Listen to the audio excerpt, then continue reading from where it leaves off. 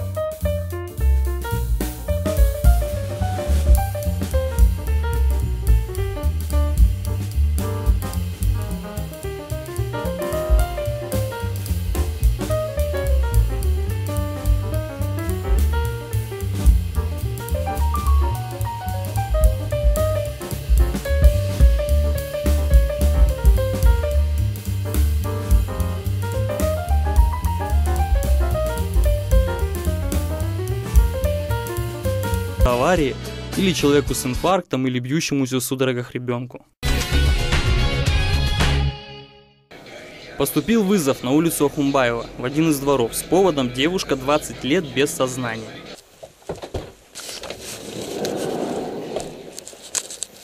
Приехав по указанному адресу, около 10 минут мы искали пациентку и вызывающих.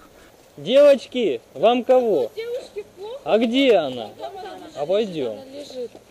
Но потом нас все-таки встретили и проводили к месту происшествия. Увидели мы следующую картину. Молодая девушка лежала на земле и поддерживала ее одна из подружек. При приближении к девушке и налаживании более тесного контакта в лицо ударил сильный перегар. Девушка была пьяна. Сопровождающие ее подружки и ничего не утаивающие жители дома рассказали, что видели, как она пила коньяк. Пила с горя, запивала лимонадом и в какой-то момент отключилась. Вы ее знаете? Да. Пила? Говорите честно. Честно говорите, мы не милиция. Пахнет от нее, я понял. Ну, пахнет конкретно. Ну Мы попытались привести ее в чувство, тщетно. Положили на каталку, завезли в машину, продолжили приводить ее в сознание, но опять все было тщетно. И это неудивительно. Выпить пол-литра коньяка – дело не шуточное, да и на такой неокрепший организм. Коньяк пила? Сколько ты его выпила? Всю бутылку? Половину? Одну рюмку? 20 грамм? 20 грамм? Пустую бутылку из-под недорогого коньяка я все-таки нашел в кустах. А вот и виновник всего действа. Красавица, вот этот коньяк? Когда записывал данные пациентки, со слов подружек, рассказал причины бессознательного состояния неокрепшего организма местным жителям. После слова «пьяная» подружки разразились подозрительным смехом. Понятия не имею, что их так развеселило. Она все нормально, все живая, все с ней хорошо, просто сильно пьяная. А, пьяная? Конечно. А что вы смеетесь, я не понял? Что-то смешно? Выяснилось, что нашей пациентке вовсе не 20 лет, а всего лишь 18, и является она студенткой училища. Лет сколько? 18. 18? Да. Сопровождающие пациентку подруги рассказали, что напилась она из-за сложных отношений с парнем и родственниками. В общем, все как обычно. Госпитализировали ее в отделение токсикологии.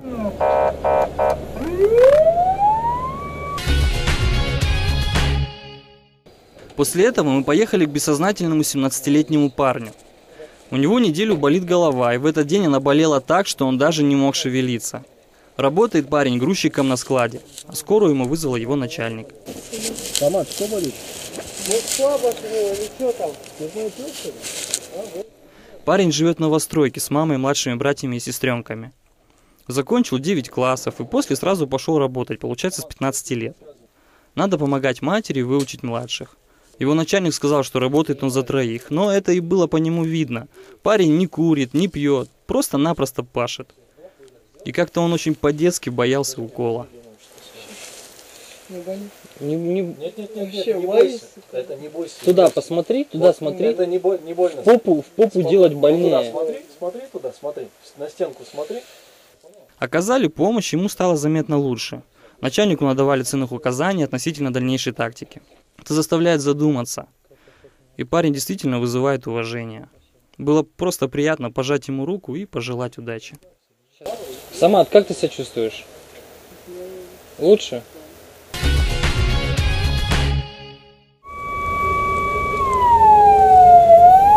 Срочный вызов, автоавария. При подъезде к месту происшествия возникли сложности с проездом. Образовалась пробка. Автомобили серьезно не пострадали. Одна из пассажирок оказалась беременная женщина. Для нее и была вызвана скорая помощь. Здравствуйте. Что? Крутит живот, как Да. будто. Успокойтесь, успокойтесь. Какой срок? 23 недели. 23 День недели, да? только в Все, успокойтесь. Чем-нибудь ударялись? Не помню, вот такой звон был и вот от этого. Да. Все, все, все, все, успокойтесь, все хорошо, успокойтесь. Мы завели женщину в машину. Она жаловалась на боли внизу живота. Осмотрели, опросили и, сделав укол с необходимым препаратом, госпитализировали ее в родильный дом с диагнозом угроза выкидыша. Вечером мы поехали к драматическому театру на вызов с поводом «Парень 23 года задыхается». Встретил нас сам пациент. Сказал, что он сам себе и вызвал. Завели его в машину, спросили, на что жалуется, он нам ответил. Внутреннее недомогание, показав это характерным жестом и скорбным выражением лица. И добавил, фобия, и как будто бы внутри что-то творится, внутренняя суета. Попробуй рассказать подробнее, твое недомогание в чем заключается? Чувство, знаете, вот, ну, то. Амир, курточку сними. Фобия, да? В общем. Бо- Чувство страха у Да. тебя. В общем, три дня назад он не сошелся в интересах с очень важным для него человеком. И теперь очень переживает. А вот сегодня случилось вот такое недомогание. Парень занимается музыкой. Я в шутку ляпнул. Ну, что ж поделаешь, творческая же личность. Он подумал и сказал. Я слышал, что с творческими людьми такое бывает, но со мной это в первый раз. Забавный паренек. Побеседовав с ним по душам, дали ему выпить валерьянки, посоветовали обратиться за психологической помощью к специалисту, ну и отпустили с миром. Запомнил препарат Новопассив? Новопассив, да. Да. Хорошо. Поздним вечером на станцию привезли пациента, наркоман. Привезла его мама. Предыстория была такова. Вечером дома он укололся, а потом накурился анаши. И, видимо, организм перепутал и не знал, как ему правильно кайфовать. Парню стало плохо. Сейчас вот лучше не стало, ну, двигаешься, а вот ну, как будто я не живое существо, да, камень какой-то, вот дерево, да, вот засыхает дерево, как первый раз, да, Расспросили его, осмотрели, сняли кардиограмму. Надо было сделать ему укол. Вен у него уже совсем не осталось, колоть его просто-напросто было некуда. Сам он сказал, что колется в подмышку. И не было другого выхода, как только дать ему шприц, чтобы он сам попал в вену. Набрали лекарство, дали ему шприц и жгут. Как только он попал в вену, перехватил шприц и ввел лекарство. Ему стало заметно лучше. Потом мы побеседовали на тему того, почему он начал колоться, хочет ли завязать, как лечился и так далее.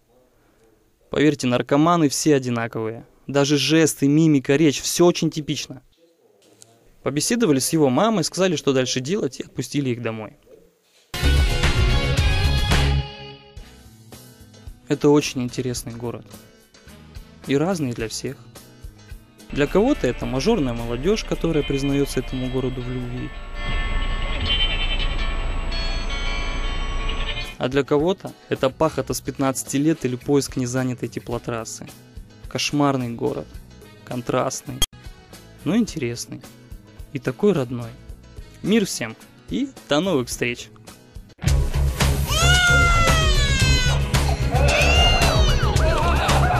Помогите мне. Тихо, тихо, тихо, тихо, не шумите. 15 дней вместе, а сегодня она отсыпет чуть не умерла 15